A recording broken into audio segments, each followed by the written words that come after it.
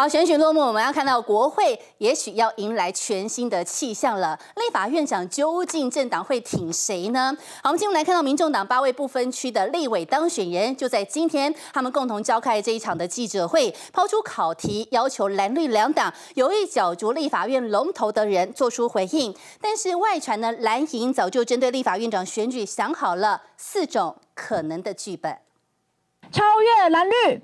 最强战力，民众党八位不分区立委当选人一字排开，宣告下届立院准备就位。新党团首战就是二月一号立法院龙头之争。请两大党有志于国会龙头的人，先清楚的交代你国会改革的蓝图，具体的回答，这个会作为台湾民众党立院党团下一步，我们在决定立法院正副院长选举的时候。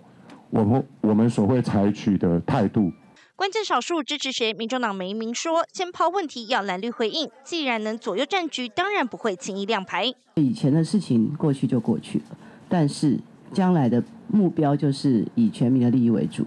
那过程中，我们需要的是正直跟诚信。那民众党刚刚成立这个这么大的八人的团，当然是团进团出。不会有个人意识。民众党初步决定，党团八人不会各投各的，但选前选后蓝白恩怨会影响投票意向吗？在民众党抛出四问后，战斗蓝赵少康抢先回应，使出善意。蓝营跟研判四种可能剧本，蓝白何时上策，也不排除最终民众党自己提名或全部不投。最担心的就是与民进党绿白合作。我们对于民众党记者会相关的说法没有任何的评论，一切要等到新国会组成之后，由民进党立法院党团。讨论后做成决定，政党反而应该先好好思考，他要担任执政党或者是在野党。那我觉得国民党要对得起我们自己的选票。